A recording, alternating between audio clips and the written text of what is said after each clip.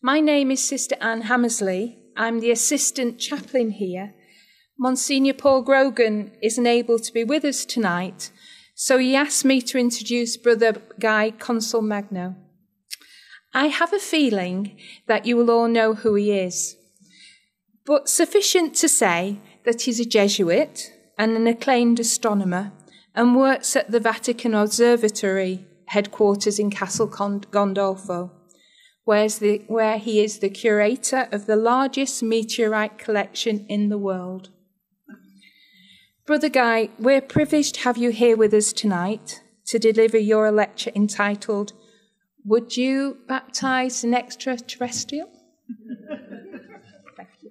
Thank you.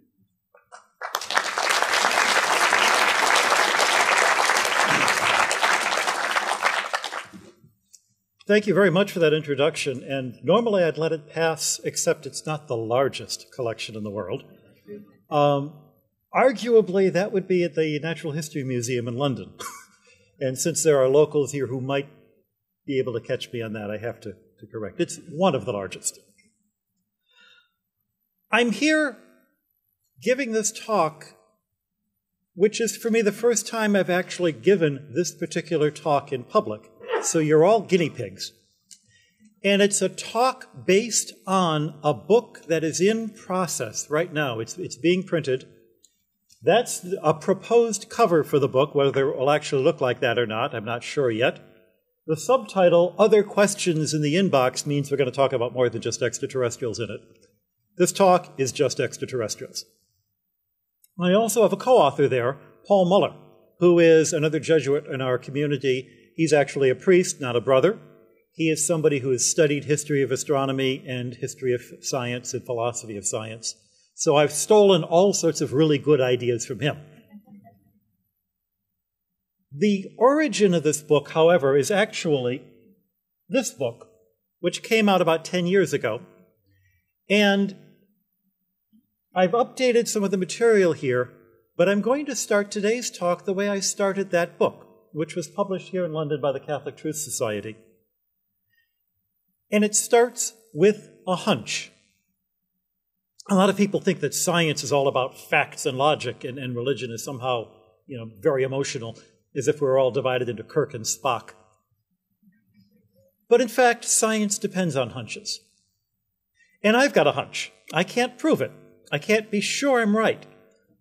I could be wrong, but still, I've got a hunch that sooner or later, sometime in the history of the human race, we will discover that there are other intelligent creatures out there in the universe.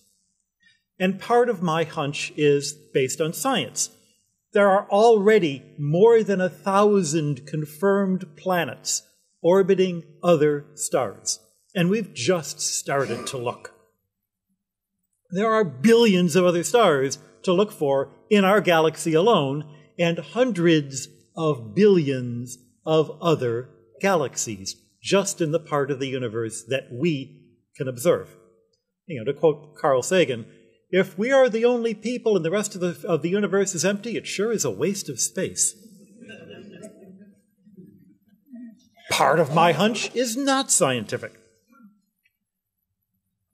I just have this comfortable familiarity with the idea of aliens, probably because I've read way too much science fiction. Um, part of it is simply aesthetic. I'm not the first astronomer. I'm not the first religious believer. To see all of these stars in the universe and feel that it would be inelegant of the Creator to have not used some of them. It's a hunch. But the first and the most important fact we have to address when we do deal with this topic is we don't know. I have not seen any convincing evidence of ETs. If there were convincing evidence, we'd all be talking about it, and we're not. What's more, there are a group of people who are some of the most trained, well trained observers of the sky who are out night after night with really good equipment, who know the sky better than any of us in this room, unless you're among them. And I'm referring to that wonderful community of amateur astronomers. And they are among the most skeptical of the idea of UFOs because they've seen what's in the sky and they're able to identify all of the wonderful things that sometimes surprise you if you're not used to looking. So I want to just, you know, set this right now. No, I don't think there's ETs. I'm not, I don't have any secret knowledge. I don't know anybody who could keep that kind of knowledge secret. And that means that everything we can possibly say about the ETs is speculation. It's guesswork. Some of it's going to turn out to be wrong. Maybe all of it is going to turn out to be wrong. We don't know. So, why do we even bother talking about it? For the same reason that you came to this talk in the first place. Because we human beings have always found the topic fascinating. Stories about other races, other creatures, are as old as the Iliad and the Odyssey.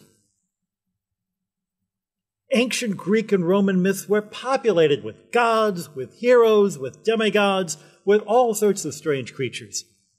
It made the stories fun to listen to. It satisfied something in our human soul, looking to find out and communicate with the other. Lucian of Samosata in AD 160 wrote what might have been the first known story about travel to other planets.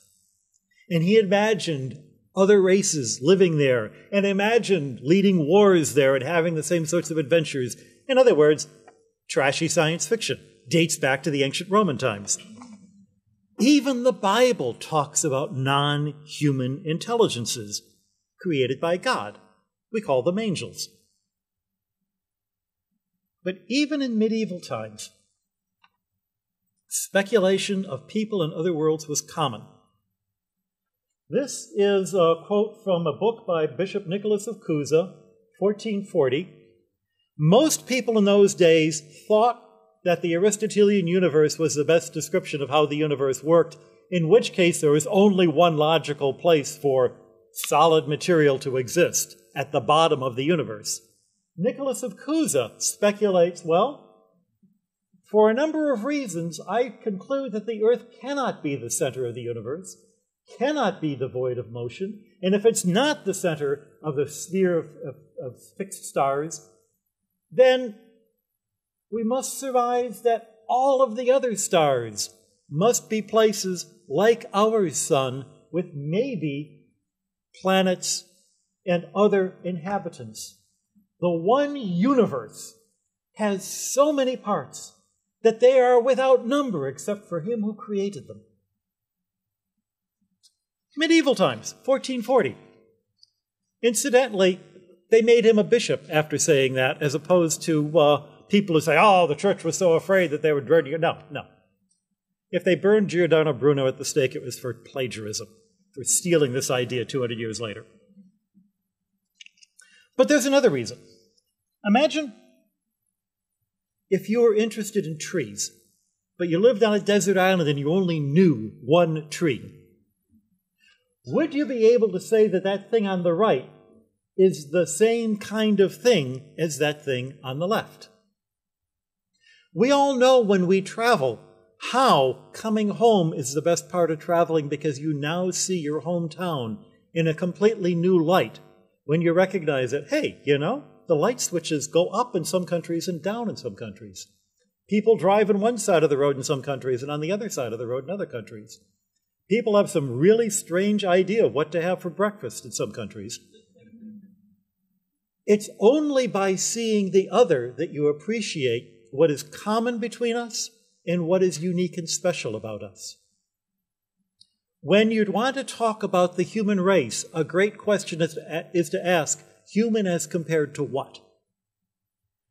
And so the exercise of thinking about aliens is a great way to reflect on who we ourselves are. There's another reason. And there's another reason why a whole lot of people want aliens to be out there. I don't know if any of you have seen this marvelous movie from the 1950s. Um, the robot is under the control of of uh, uh, Gort, I think is the Gort is the robot. I don't know if we ever learned the name. Klaatu, Klaatu, Klaatu Benedicto, no, yes, yes. Klaatu takes the name of Mr. Carpenter. He's come to Earth to act as a savior. Carpenter, savior, you get, get the connection. It also doesn't have a happy ending. But somehow I think there are people who think that, you know, the UFO people are going to solve all of our problems for us, that they're going to be the savior. We've already had a savior. Look what we did to him. Nonetheless, there is that hunger, that hope, that at least having the perspective of another race will allow us to see ourselves and maybe you know maybe if they're nasty we'll all join together to fight them. And not a particularly good reason to want them to be, to be aliens. I would just as soon not have that kind of event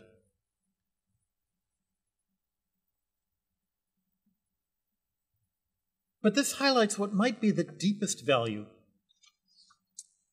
of contemplating and speculating about life elsewhere, looking at this topic from a religious perspective adds a new dimension to our own understanding of what it means to be in a relationship with God. Appreciating God as the creator of this universe, this enormous universe, gives us a sense of how big God is. When the, the writers of Genesis talked about their idea of what the universe looked like a flat plane with a dome over it, water above and below the dome. Bigger than that, bigger than the eye could see, was the God who created it. And that was bigger than they could imagine. Now we talk about a universe of 13.8 billion light years to the edge of what we can see. And if you add in inflation, 150 billion light years to the edge of what we know at one time was in contact with us. And God is bigger than that. And if there are any number of multiverses, God is bigger than that.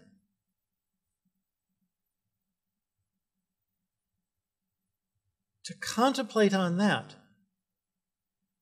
puts into a really interesting perspective what God's presence on earth means to us.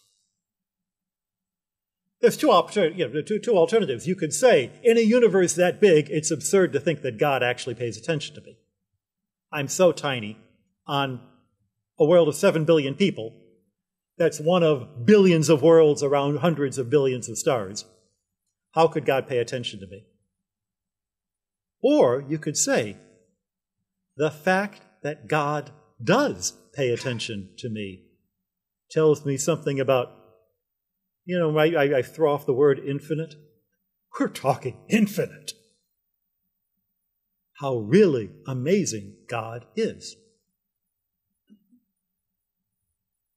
But we must never forget that what we're doing here is speculation, contemplation, appreciation. It isn't science, not yet may not ever be science. It actually isn't even theology, because at best it's science fiction, fantasy, poetry.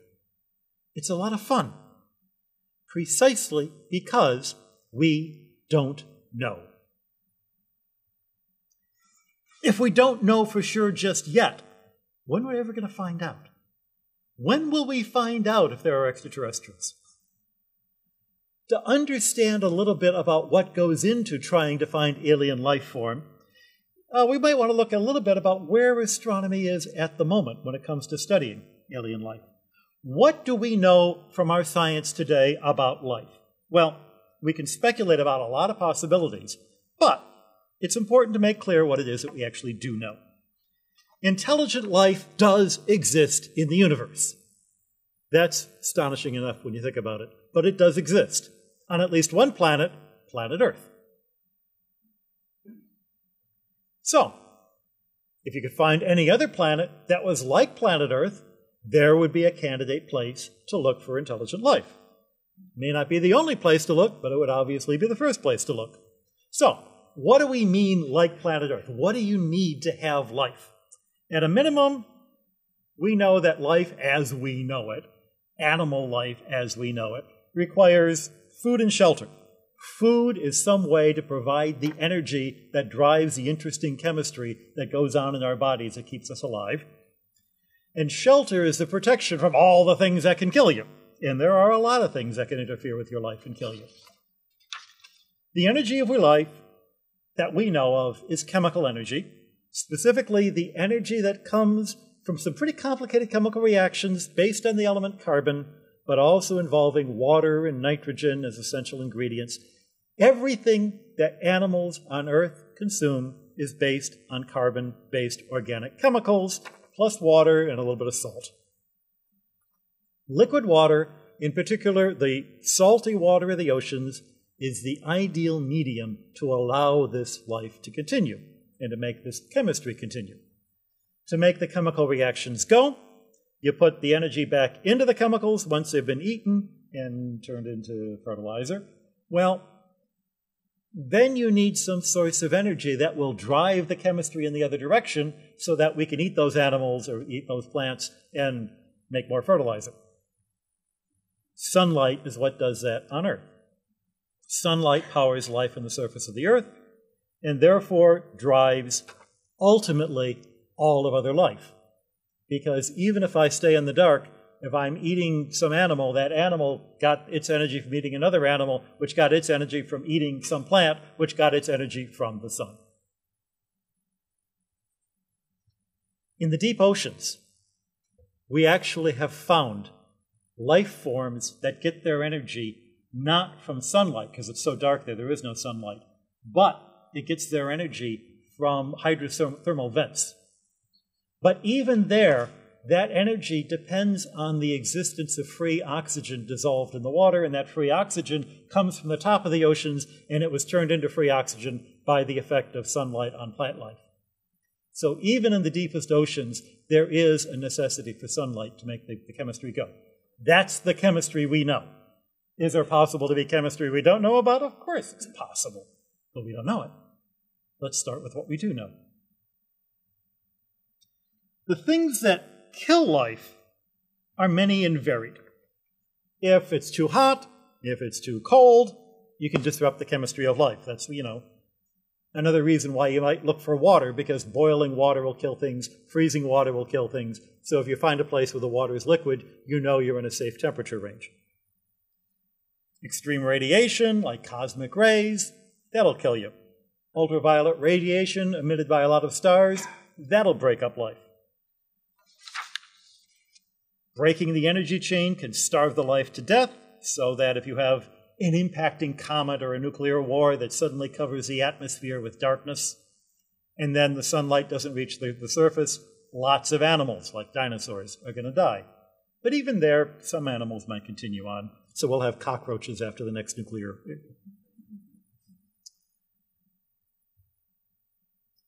And the other inter interesting thing, of course, is once you do have a system of life, that life can feed off of each other, sometimes to the point of extinction. Uh, someone once said to me in a very cynical way that the human race and all of our pollution, we're going to kill ourselves off for the first time in history. And I go, actually, it's for the second time in history. The original life on Earth was, was uh, life that thrived in carbon dioxide, but it produced this poisonous oxygen that eventually killed it all off and made us possible. The point of all of this is that there is a convenient setting we know about in the universe to grow life the surface of a planet that orbits a star. The planet should have an atmosphere and maybe a magnetic field to deflect the worst of the bad things that kill stuff. It should have liquid water in the surface, which means that uh, should be not too close to the sun, not too far from the sun, what's sometimes called the just right zone or the Goldilocks zone. It means that the star itself should be relatively constant in how much energy it gives off. It can't be a wildly varying in brightness star, and there are stars like that. Or a star that emits enormous amounts of radiation periodically. There are stars that do that. Earth is such a place. And obviously, there's life on Earth. And obviously, we can't draw any conclusions from that because if there weren't life on Earth, we wouldn't be here to know about it. We only have the one example. And that's what's so frustrating. Because so long as we only have the one example, we'll never know for sure which of all of those things I've lined up really are essential and which ones is nature clever enough to get around. That's why we'd love to find life in other places. But the first question you're going to ask is Are there other places in the universe like Earth? And how many of them are there? And how many of them have life? That at least would give us some way of you know, doing the odds. So, the first place you might think of to look for other places, we know there are planets around our sun. Some of them are in regions that, you know, might be a logical place. After all, if you want to be in the Goldilocks zone, if you want to be in the right distance from the sun to have the conditions for life, well, the Earth is obviously in the right condition. How about the Earth's nearest neighbor, the Moon, which is exactly the same distance away? Uh, no life. It's bone dry. Even though it's right next to the Earth, it has a totally different chemistry. Why is it so dry? That's a different lecture, and the answer of that lecture is actually the same as the answer to this lecture. We don't know.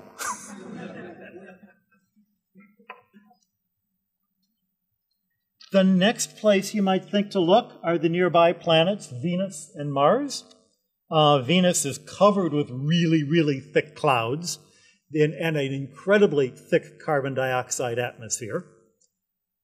The result of all that carbon dioxide atmosphere is to create what they call the greenhouse so that the sunlight comes in, gets turned into heat. The heat tries to radiate out, but all the carbon dioxide in the atmosphere stops the radiation of heat until the planet gets really hot, like about 700 degrees. Uh, is that Kelvin or Celsius or Fahrenheit? It doesn't matter. 700 degrees. Celsius, actually. So you'd say, impossible to have life there. You might ask, you might ask, why is it that Venus has such a thick carbon dioxide atmosphere and the Earth doesn't? Interesting answer. The Earth has basically just as much carbon dioxide as Venus has. The difference is that all the carbon dioxide in the Earth got turned into seashells and turned into limestones by animals in the ocean that sucked that carbon dioxide out of the atmosphere and used it to make their little mollusk shells, which then fell down to the bottom of the oceans to make these layers of uh, limestone. And that didn't happen on Venus. How curious. You might also ask 700 degrees on the surface, clouds of sulfuric acid, which is what happens when you have temperatures that high and no water around, uh, you know, does not sound like a pleasant place. It, it's, you know, like Los Angeles on a hot Sunday afternoon.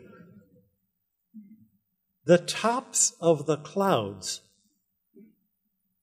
which are many, many miles above the surface of Venus, have a temperature of 300 Kelvin, which is the temperature in this room and a pressure about the same as the pressure in this room. And those cloud tops are droplets of water, along with sulfuric acid. There are biological entities that we now know of, extremophiles, that could survive in those droplets. For all we know, it could be possible that there is bacteria living in the tops of the clouds of Venus. We can't rule it out. I can make arguments as to why I don't think it's likely, but I can't rule it out. Stay tuned. The next most likely place, uh, that's not Arizona, that's actually Mars. Sometimes hard to tell the difference. Um, Arizona's got more atmosphere, which anybody who's ever been to Arizona knows what a joke that is. I live there part of the year. Venus was covered with these really thick clouds. Mars has way too little atmosphere. It's just a little bit smaller than the Earth, small enough that a lot of its atmosphere, a lot of its carbon dioxide went away. We can tell from the surface that it used to have liquid water on the surface. It used to have a thicker atmosphere, and it doesn't anymore. But here's the curious thing. If you scrape a little bit of that sand away, you don't have to go very far down before you get to layers of dirt and water ice. And that water ice, if it was raised to a temperature, could boil up enough to create an atmosphere. So, if you could make Mars warm, it would be warm. That's not as foolish as it sounds. If you could make Mars warm enough to melt the subsurface ice, the atmosphere created would be thick enough to hold the heat, at least for a while. It is conceivable that we could turn Mars into a place where we could live through some kind of terraforming. It's also possible that even though the surface of Mars is so exposed to, to cosmic, uh, cosmic rays and, and solar ultraviolet radiation that it's basically being sterilized, you don't have to go very deep before you wind up in a region under the surface where the water could be liquid, that's well protected, where you could have bacteria. We haven't looked closely enough at the surface of Mars to rule out that possibility. We haven't, you know, for all the, the rovers, including this rover that took these images, we have not yet been able to measure to a high enough precision what the surface of Mars is like. There's a plan for a rover to go in 2020 that might be able to look for the traces of organic chemicals maybe made by life. Once again, stay tuned. But at the moment, no life yet that we know of.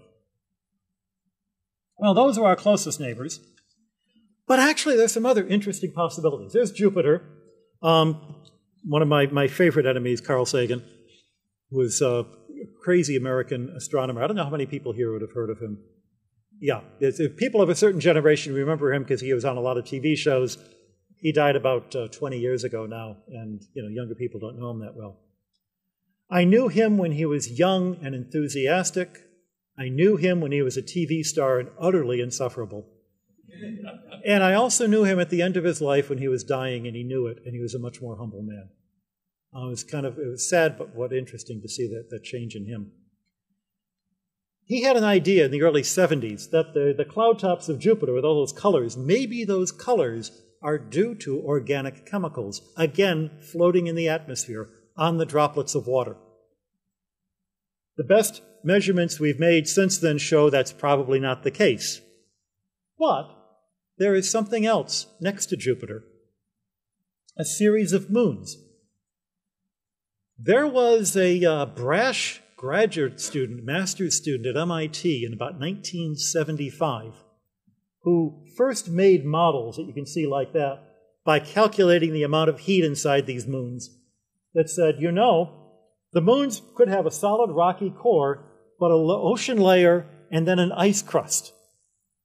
Um, the model's predictions have all been confirmed by the spacecraft. The details he put into the models have all been shown to be wrong, but all the errors canceled each other out very conveniently. At the end of his master's thesis, he wrote, I stopped short of predicting life in these oceans, leaving that for others more, you know, blah, blah, blah. He was thinking of Carl Sagan, of course. I know he was thinking of Carl Sagan. That was me. I am not the first person to predict life in the oceans. I'm the first person to specifically not predict life in the oceans. But the life might be there. Okay, there's no sunlight. Actually, I'd mentioned this to Carl Sagan, and he said, How is the sunlight going to get through the ocean crusts? There could be volcanoes, uh, you know, and, and, and lots of thermal heating, as we see on Earth, down at the bottom. But without the life without the oxygen, creating oxygen, without the sunlight, creating the oxygen from the water at the top, the life as we know it couldn't run. You need some way, some kind of cracks through that ice covering. Do you actually see cracks through the ice coverings of the icy moons? Uh, yeah, actually, you do. This is the moon of Saturn called Enceladus. Those are plumes of water erupting from the South Pole. And in fact, these plumes of water erupt enough droplets of water that they form a thin ring, one of the rings of Saturn, not the, the famous rings, but a ring there nonetheless. In the last year, we have seen evidence for plumes like that above Europa as well. So at least two of these icy moons are showing us that the water exists under the crust and it is in contact with light. There could well be intelligent tuna living down there. Now imagine, if you will, that you're an intelligent tuna swimming in the oceans. You're living in a universe where there is a bottom because you swim far enough down, you hit the, the rocky core. And your universe has a top. You swim to the top, and there's a crust. And all you can do is swim around and around and around. And there is no way that you can observe that the rest of the universe exists.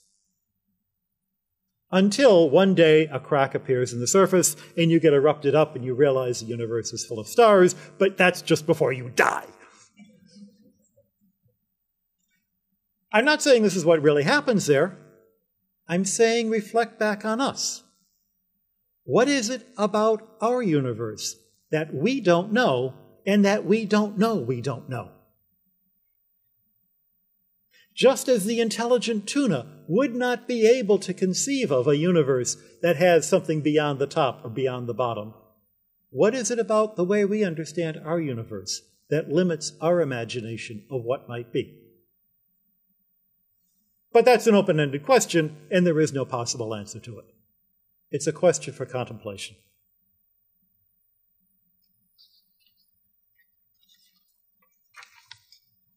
Those aren't the only icy moons.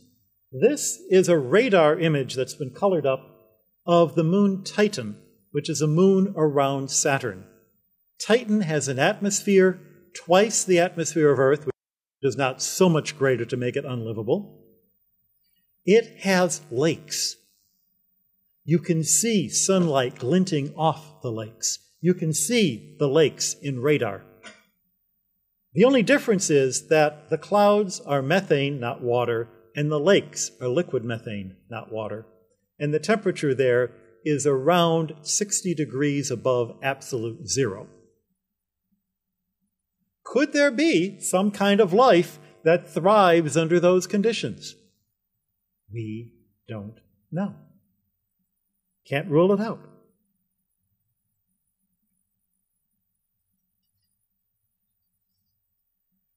Remember, actually finding life is going to be very difficult given our technology. Even though there are lots of places where life could exist, all of them are places where it's going to be really hard to find it. At the moment, the only place we know that has life is Earth. Now, in the last 10 years, we have discovered thousands of planets around other stars. This is a chart showing all the different types of, of planets.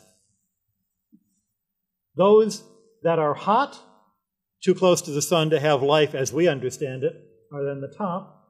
Those that are cold, too cold to have life as we understand it at the bottom. Those that are in the habitable zone in the middle. And then which ones are rocky and which ones are gas giant. Now you'll notice most of the ones on the chart, 1,744 as of about two months ago when this chart was made, are super Terran hot planets. And the next largest are the hot Neptunes or the hot Jupiters. And that's simply because those are the easiest to find. Planets nowadays are found by looking at a star and seeing the brightness of the star drop ever so slightly when the planet passes in front of it from our point of view, which means all the planets going around this way around stars we never see. And it also means you want to be able to see the planet repeat itself three or four times before you're convinced it's really there, which means if you're only being able to look for a couple of years, you could only see the guys that are orbiting close to their sun because they're the ones that cross the, the face of the star most often. They're the easiest to see. Even under that constraint, there are a couple of dozen possible Earth like planets. And again, one in the news a couple of months ago that is not all that much bigger than Earth and in its Goldilocks zone. For all we know, it could have life. It's 500 light years away, so if we send a message, um, you'd have to wait a while to get an answer. Worse than that, if they're looking at us, they're seeing us the way we were 500 years ago. You know, they get to see Shakespeare live anyway.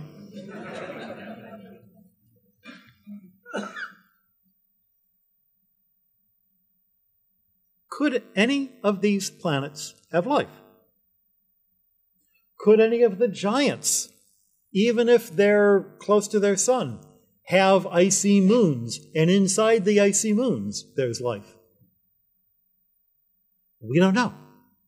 We don't even know how you get the chemistry of life started. We still haven't figured that out yet, and we've been working on that for 50 years.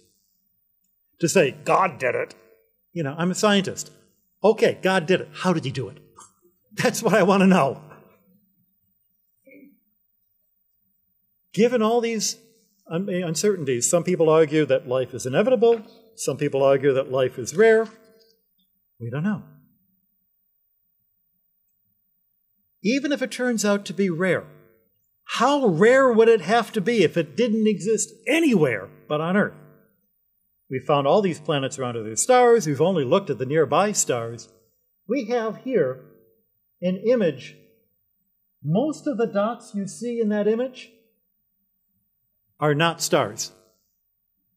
Most of the dots of light that you see on that image are galaxies, each one with about a hundred billion stars. That's what our universe looks like. And you're going to tell me of all of those stars, none of them have intelligent life?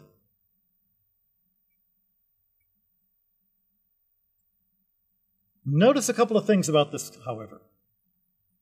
Once you start looking at stars in other galaxies, we increase the odds that there's life there, but at the same time, we also increase the odds that it's going to be so far from us, we'll never be able to communicate with it.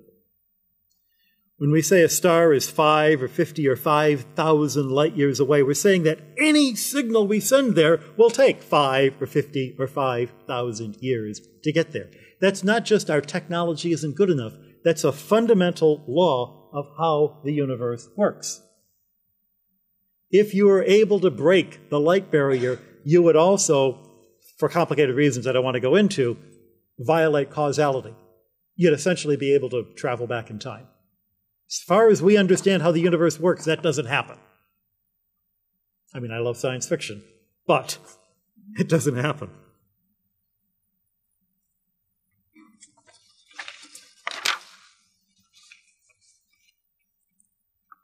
Now, could be we're wrong. Could be that all of our physics is wrong. Could be that our idea of causality is wrong. We don't know. Judging from what we do know now, it's not going to happen in my lifetime. Okay, up to now, we've also talked about life as we know it. We can speculate as much as we want about life as we don't know it, but you can't talk about it scientifically because we don't know. And all you can say is we don't know. There are probably more definitions of life out there than there are scientists who have come up with a definition, and that's the problem. You can't define it when you've only got one example. This is uh, a meteorite that was found in Antarctica in 1984. And you see those little wormy things? There are people who suggested that those might be fossilized bacteria.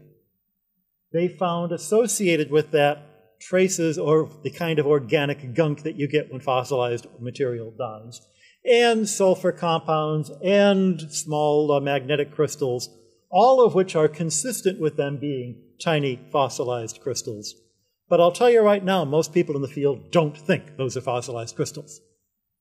Because there's too many other ways that you could put all of that evidence together without resorting to life.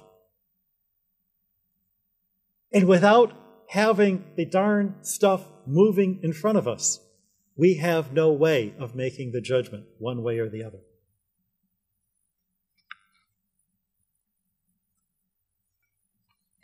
The real reason I think that people are so skeptical, though, is that finding life on another planet would be such an important discovery that you really want to be sure you got it right before you announce it. And that really sure criterion, that's not scientific. It's an aesthetic, it's an intuitive, it's a gut feeling, it's a hunch. It's the hunch you have to trust. And the hunch is, hmm, probably not. Probably there's not life there. But probably there is life someplace. We're back to hunches again. Well, that's what we know from science. We can ask the question what do we know theologically? Is the idea of life elsewhere consistent with our understanding of God and how God behaves? If there are planets out there that are suitable for life, if there is life on those planets, if that life is intelligent, if that life is in a free, self aware, loving relationship with the Creator, if that life can communicate to us about their experience of the relationship, well, those are a lot of ifs. If so, then maybe we'd have something to talk about with each other. Then we might be able to talk about baptizing extraterrestrials. But if any one of that chain of ifs turns out to not be true, the entire system falls apart. And right now, we don't know. So that's why we're left with the speculation. In times past, thinkers on both sides of the religious issue have used the possibility of extraterrestrials to support whatever it is that they wanted to. Religious believers look at the universe, how grand it is, how full of life it is. God must have created life elsewhere. If we find life elsewhere, it's a proof of God's, you know, creative power. Likewise, if you're an atheist and you say, ah, you think that God just created life here, as soon as, you know, we find life elsewhere, that that throws Christianity. It's amazing when you talk to people throughout history, you see what they write, talk to people of different religions today. Everybody agrees that when we find life elsewhere, not if, but when, that will prove that I was right all along, regardless of what I was saying before. Um, one argument in particular I'd like to bring up uh, Thomas Paine, who was an American radical in 1776, he uh, argued in a book called The Age of Reason Christianity demands either the unlikely proposition that of all the worlds in the universe, God chose to be incarnate only in this one, because, you know, a couple of goofy people ate an apple once, or else there were so many incarnations that, and this is to quote him, the person who is irreverently called the Son of God would have nothing else to do than travel from world to world in an endless succession of death with scarcely a momentary interval of life.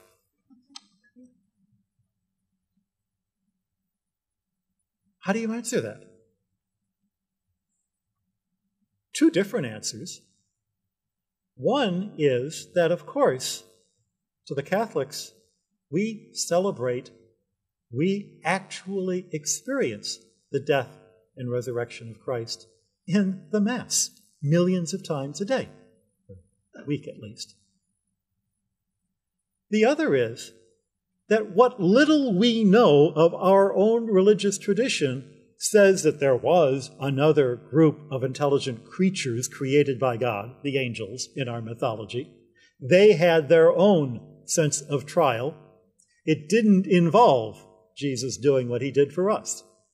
Who's to say that any race's experience and need of a salvation would be the same as ours or would be experienced the same as ours? You know, let's, let's give God a little more creative freedom. We give creative freedom to James Cameron to make movies. We could God, give God creative freedom to, to make a universe. It does, however, raise the question of uh, what the meaning of salvation actually is. Would another race need salvation? There's a lot of really bad science fiction stories out there about some usually Jesuit going off to another planet and discovering an unfallen race, and this shatters his faith, which, you know, uh, that's not the kind of thing that would shatter my faith, sorry. But if you found a race that never sinned, you might first then ask, are they capable of sin? And if they're not capable of sin, do they have free will? And if they don't have free will, then are they truly in the image and likeness of God? Which Thomas Aquinas tells us is intellect and free will. The ability to know that I exist, that you exist, and that I can do something about that. I can love you or I could throw a pie in your face. I have the freedom to make that choice. If you see somebody who doesn't sin, does this mean they can't? If they do sin, does this mean they're in need of salvation? Well, is there a fifth, sixth, seventh, eighth, ninth, and tenth member of the Trinity going off and doing these things? According to uh, the Gospel of John, the second person, the Word, was there in the beginning. The same word there everywhere. So, whatever salvific, incarnational sense that God is in and present to these other races, it's not going to be extra members of the Trinity. It's the same second person. Which means that this salvation, this incarnation, is at most part of the same bigger incarnation of God in our universe. I tried explaining this once on Italian television. They, they invited me to come on some Italian TV show. I thought, what do I do? Well, it's the bishop's TV. Oh, okay, I'll do that.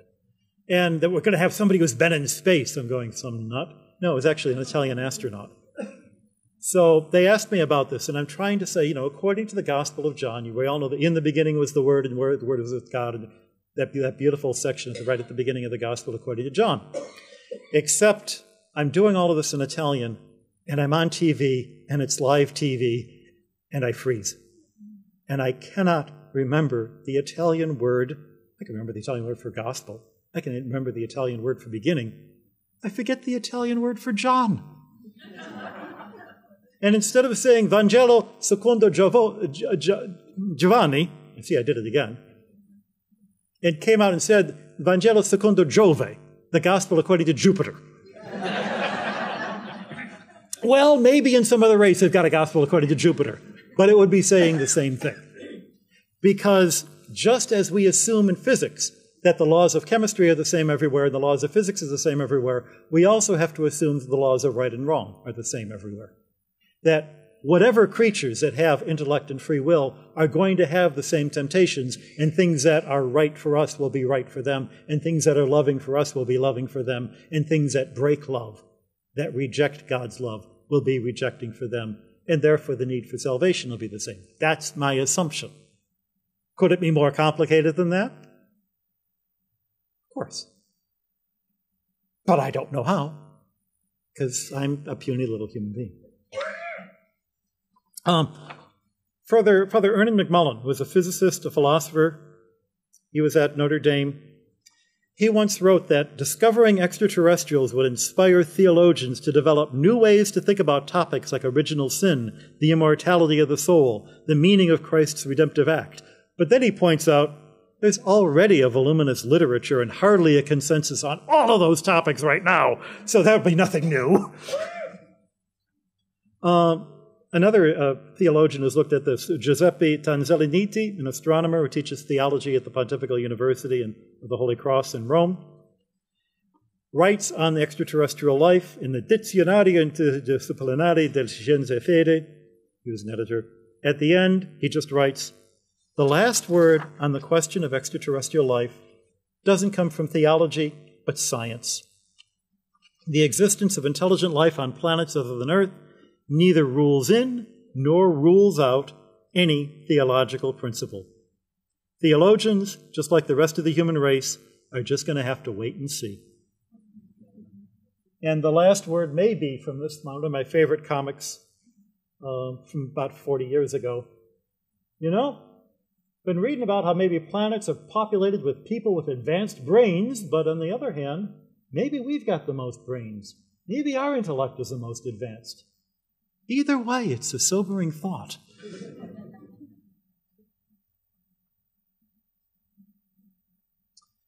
But the mere possibility of intelligent life elsewhere puts a human like face on the bigger question of our place in the universe. For most of us, our lives are centered on our own immediate needs and our fears, our personal joys.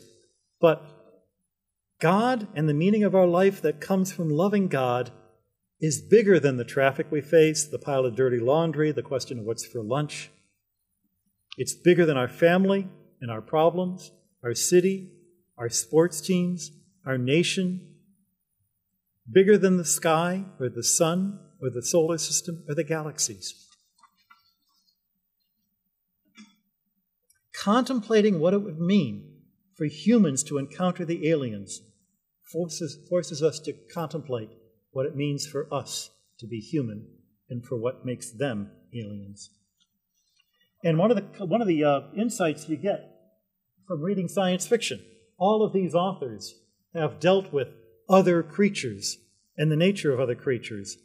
The one insight in all of their stories is that any creature in this universe, created and loved by the same God who creates and loves us, is subject to those same issues, moral and human issues, that we're faced with. And incidentally, all three of those authors, um, some of the most famous and well known, happen to be practicing Catholics. So, when I baptize an extraterrestrial, the question came up really for the first time in 2009 in a very direct way when I was in Birmingham attending the British Science Conference. And I was going to give some talks on asteroids. And they said, Could you do an interview, um, you know, very informal setting, do an interview with a couple of newspapermen to publicize? So I said, Sure. They call me up Friday morning before I'm about to give the talk, except that happens to be exactly the same day that Pope Benedict is also in Birmingham. so, what they're really interested in is stories about you work for the Pope. Have you ever talked to the Pope? Well, yeah, actually, I'd seen him like a week earlier. He had come to dedicate our new uh, observatory. So, where do you disagree the most with the Pope? I'm going, what do you mean, where do I disagree with? You know, how has he tried to undermine you? What do you mean? How has he? He's, he's just built us a new observatory. That's what's undermined. They're trying to get a story out of me, and I wasn't giving them a story. So finally, one of them comes up what he, what he thinks is the killer question Would you baptize an extraterrestrial? What a stupid question is that? So I popped off with the first thing that I came up with. Would I baptize an extraterrestrial? Only if they ask you know, and, and, because right there is summed up the whole thing. Tell me when there's one who can talk to me and we'll, we'll deal with it. They laughed just like you laughed. The next day, it's all reported in the papers as if this was some serious answer.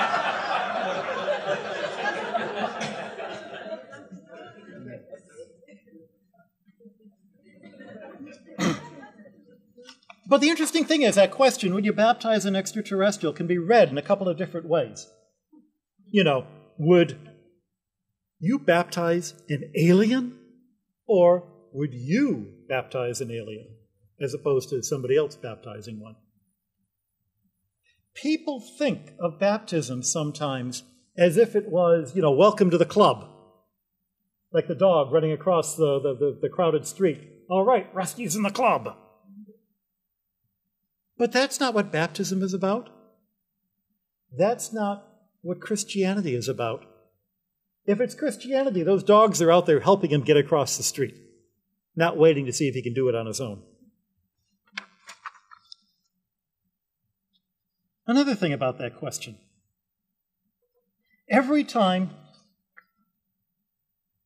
I'm out there I keep getting the same question, even though I come up with all sorts of different answers. It's a question I keep getting, which makes me think maybe it's not really the question. Maybe would you baptize E.T. isn't the right question? Maybe we should look to the way that Jesus dealt with the aliens, us, here on earth, of which he was also one of us? Am I willing to have a meal with an extraterrestrial? Am I willing to let the ET share a meal with me? If I saw ET sick and injured by the side of the road, would I do something to help them out? Would the ET do the same for me? Am I willing to suffer or die for an ET? Is the ET willing to suffer or die for me? If the answer to those questions is yes, and frankly, that's what's going on in that movie, if you think about it, then we can talk about being common members in the kingdom of God.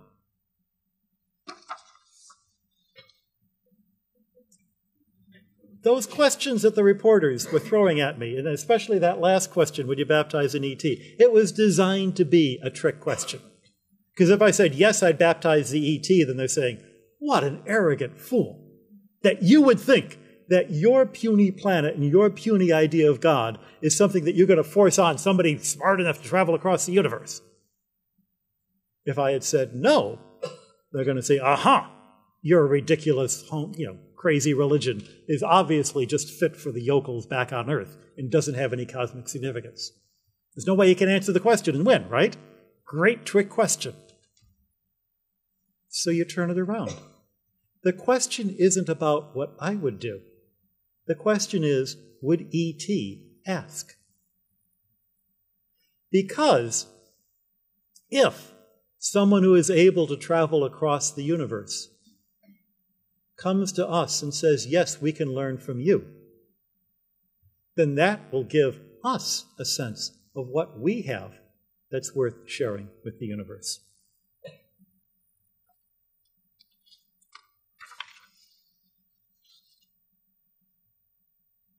Usually, the Christian idea that humanity is at the center of God's love and concern is taken to mean that of all the universe, God has chosen human beings out to be special and separate and different from the rest of the universe.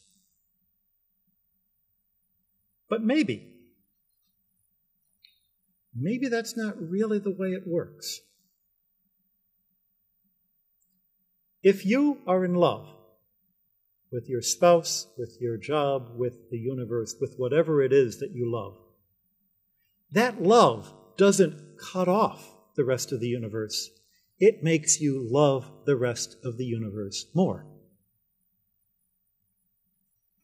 Love doesn't exclude, it includes. If that's true of human love, that must be even more true of God's love. When God falls in love with us, God treats the entire universe better. God treats everything in the universe as if he has fallen in love with it. It's not fair, it's not consistent, it's more than fair, it's more than consistent. What if whatever it is that God loves about us is not something that separates us from the universe, but something that is characteristic of the universe itself? We humans are, among other things, material, feeling, thinking, willing, free, loving. In us, the universe has become self aware. In us, the universe has the ability to make free choices. Actually, I can't say that's true of humanity. I have to say that's true of me. And also her, and also him, and also her, not too sure about you, but about him. Each individual, every individual, is in this kind of relationship with the universe, and it is these characteristics which are characteristic of us and characteristic perhaps of the entire universe.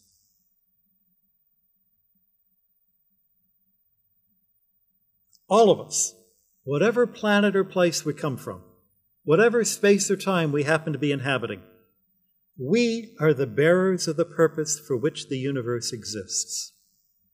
That makes us, each of us, the center of the universe.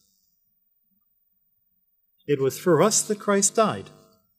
It was for us that the universe was born. I've commented about how the search for life elsewhere is an exercise in the imagination, a speculation served by science fiction, by poetry. I want to end with this, one of my favorite poems, written by uh, Alice Meynell, who published this in 1917, which was 10 years before the first science fiction magazine. With this ambiguous earth, his dealings have told us, these abide the signal to a maid, the human birth, the lesson, and the young man crucified. But not a star of all the innumerable host of stars has heard how he administered this terrestrial ball. Our race have kept their Lord's trusted word. Of his earth visiting feet, none knows his secret cherished, perilous, terrible, shamefast, frightened, whispered, sweet, heart shattering secret of his way with us. Nor in our little day may his devices with the heavens be guessed, his pilgrimage to thread the Milky Way, or his bestowals there be manifest. But in the eternities, doubtless we shall compare together, hear a million alien gospels, in what guise he trod the Pleiades, the lyre, the bear. O be prepared, my soul, to read the inconceivable, to scan the million forms of God those stars unroll, when we in turn, we show to them. Amen. Thank you very much.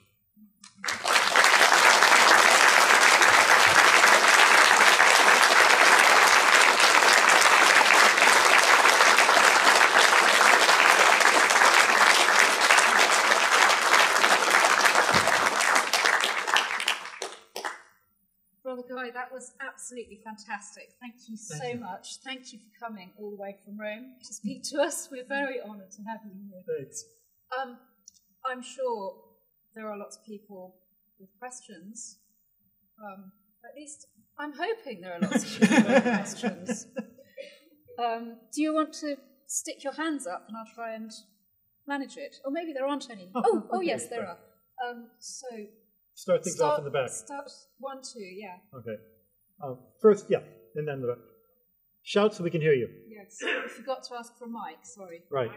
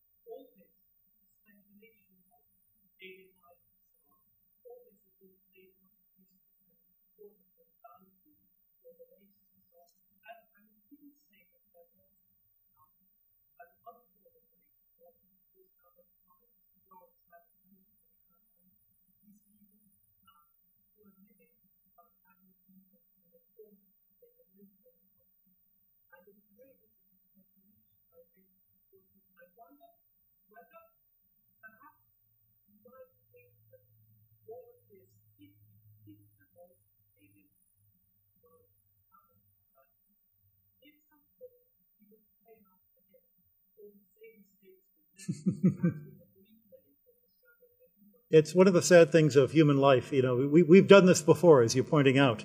A lot of the speculation that comes from the Middle Ages was first, what if there was uh, life on the other side of the earth, on the other side of the Sahara Desert that they thought they would never be able to cross? Would they actually be children of Adam and Eve? And then when uh, other races were found in the Americas and in the Far East, there was a great debate in the 1500s as to whether or not these people should be made slaves or whether they should uh, be baptized. And one of the sad things is that we do tend to make our mistakes over and over again. I'm sure there will be a lot of those mistakes, and we probably will have the opportunity to make new mistakes. One of the things that uh, I did in my own life was to spend a couple of years living in the Peace Corps, living in remote parts of Africa. And I came there as an American, very, very sensitive to this materialistic culture I had lived in. and hoping to learn something from the people I lived in who had lived a much simpler life. And all of that happened. But I also saw that the first thing that these people did was to say, he wears blue jeans. Let's all get blue jeans. And, and that there was a great hunger to imitate everything that I'm most embarrassed about in being an American. With the first, you know, it's, it's human nature. It is our fallen nature. We can only hope that we will learn to not make quite the same mistakes the next time that we made that time. But it is, to, to use a phrase we used before, a sobering thought. The difference is that unmistakably, every intelligent people we've discovered in the surface of the earth have been genetically identical to us. How does this play out in a case where they've got obviously different DNA? That's what will be new. And that is, I think, one of the sources of the great um, mystery of how does God relate to them compared to us. There's a great temptation in the modern world to separate the mind from the body, to say that only the soul matters. I think that's a mistake. That's the kind of thinking that allows people to think that I can go into the doctor and have them change, you know, my my shape, my nose, my face, my race. And you wind up being sort of uh, a, a weird creature like Michael Jackson. I think it's important to remember that we are created physical beings, and the physical side of us is also important. How that plays out in our salvation, I don't know. And it's wonderful to speculate about. In the back, yes.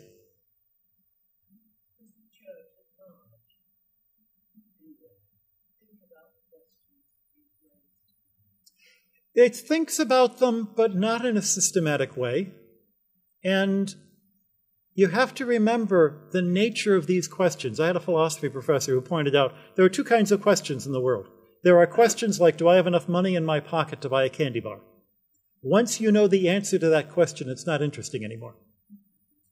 But there are the other kinds of questions that, even though I could come up with an answer today, they'll still be interesting 10 years from now. What is it about chocolate that I really want so much?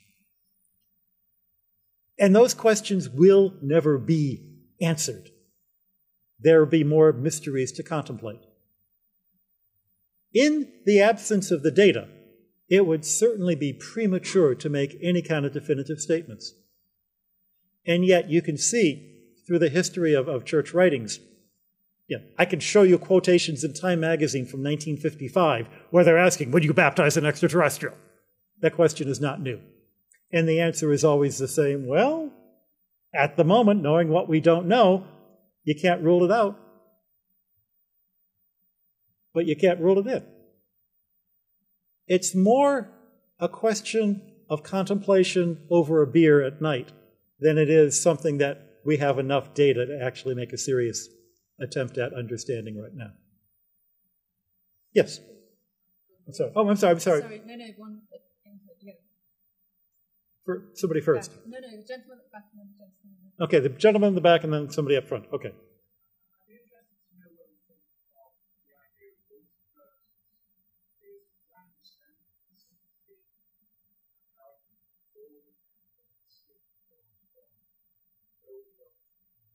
Right. Yeah. Well, it's the. Uh, the idea is that uh, our universe has a number of physical constants that make all the laws of physics work, which are just right to allow the kind of chemical reactions that make organic chemistry possible and that make organic chemicals possible because the stars are around long enough. And it's these long chain of very, very special coincidences. Some people have used this as an argument to say, aha, there must have been a God. But it could be that we're just one of an infinite number of multiverses, and we happen to be the only one that has life possible, because if life wasn't possible, we wouldn't be here. I think it's a dangerous argument to use to prove God. If you're using science to prove God, then next year's science could fall apart, and then suddenly you don't have any reason to believe in God anymore, if that was your only reason to believe in God. It's called the God of the gaps. It's bad theology. Ultimately leads, leads to losing faith in God. If there are an infinite number of universes, the role of God as creator of universes is to set the reason why are there any laws of physics in the first place? Why are there any universes in the first place? Um, let me give you an illustration. Do you remember years ago there was a game called Mousetrap? And you had this really ridiculous chain of events that would cause a little trap to come down, and, and you could set it all up. Some people want to think that God is the guy who turns the crank that makes everything work. No. God is the guy back at the Ideal Toy Company who thought up the idea of having a game called Mousetrap. So, I think the idea of multiverses as an escape clause to try to get around the necessity for a God who fine tuned the universe is a highly speculative bit of physics to get around a really bad piece of theology. Who else were you choosing? There's, there's something here, and then something here, Okay, all right. and then something right up there. All right. One, two, three. Could I say thank you first of all for a fascinating talk? Um, I should be clear, my background is physics, the, the dark side of engineering. Um, I find the interaction between theology and physics fascinating. There are two possible passages that grab my attention, and I wonder if you'd like to comment on them. The first is the feeding of 5,000. The thought comes, where did the mass come from? Mhm. Tens of kilograms requires a lot of energy. You would think someone would notice to mention. And the other one we, we've heard just recently about drinking the new wine in heaven, which implies at least mature wine, if not old wine, and that does heaven have an arrow of time and Mhm. operation then? Mhm. Yeah. It's wonderful, and and you could write great stories. You could write fake great fantasy stories, taking either any one of those. Uh, there is a uh, rather scatological story that uh, Larry Niven, art, article I should say, about Superman, and uh, without getting too graphic, I'll merely mention the title of the story is "Man of Steel, Woman of Kleenex." If you take any of these marvelous ideas and push them too far, you realize they can't possibly work. Which means that we've understood the question wrong. And to say that, uh, well, Jesus was doing it only in a spiritual sense also gets the question wrong, also begs the question. There's more going on than what we understand. And that's fun, because I'm always happy to admit I have no idea what's going on. Who else? Yes, well, back to this idea of, uh, of multiverses. Um, if the multiverse exists and if it is infinite, then surely there is uh, an infinite number of versions of us. Um, Hey, that's what that's what happens when you get infinity. Yeah. not, even, not even the multiverse. I mean, even, Right. even the, the universe itself, where it now is infinite, eventually the atoms will reform into the Earth. And into, uh, Well, well uh, there's there are people who say that every quantum choice splits the universe, and since there are how many zillion atoms undergoing how many different quantum choices every Planck second, but then when you're dealing with infinites, you can't say no. do you think that would devalue our place? Um, it doesn't seem to devalue our place to have lots of people. If anything, it makes each of us in some way more important. And I don't know how that works, but that's how love works. So maybe the answer is there. I'm, I'm, we're running out. Uh, I'm running out of, of steam and energy, but we'll certainly take one more. Yes.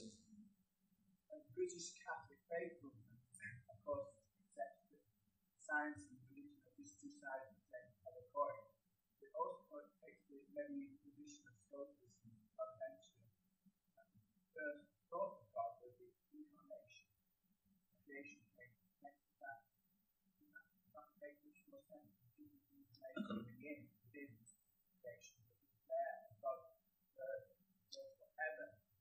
Well, according to the gospel, according to Jupiter, uh, the, the gospel, according to John, starts in the beginning was the Word. Not that in the beginning God made the Word, but rather was already. The second person is the incarnation. Um, I have a feeling that's one of those not how much money do I have in my pocket questions, but one of those questions that you can contemplate and take to prayer for years without ever coming up with a definitive answer. The more you think about it, the more amazing it is. The more you think about what the incarnation means, the more astonishing it is.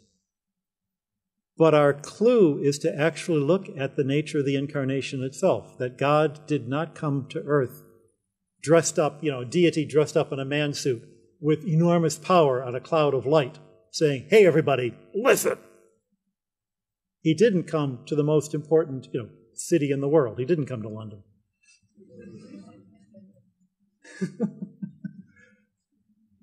he came as a poor techie in a backwater conquered nation as an innocent child who didn't live to see 35. And who lived a particular time and a particular life, as the theologians refer to, the scandal of particularity.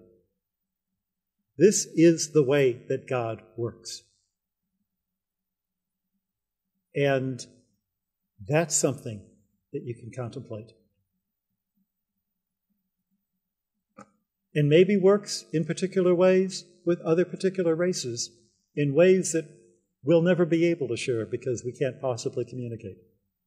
But then, a thousand years ago, could people have contemplated a conversation like this in a room like this? So, who knows where we'll be a thousand years from now? I have a train to catch, so thank you, speaking of a thousand years from now. Thank you all for coming.